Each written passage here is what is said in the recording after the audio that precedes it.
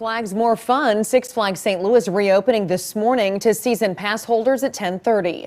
The gates will open to the rest of the general public this Friday. The popular theme park says it will adopt an extensive safety plan to keep workers and visitors safe. Among those changes, Six Flags is cutting down on its capacity to allow for social distancing. You must make reservations online for specific days and times. Face masks will also be required for visitors over the age of and for all workers. The park will also deploy thermal imaging for temperature checks as well as touchless security screening for bags. There will be extensive cleaning and hand sanitizer stations throughout the park. Social distancing markers will be added and guests will be separated by empty rows or seats on all rides and attractions.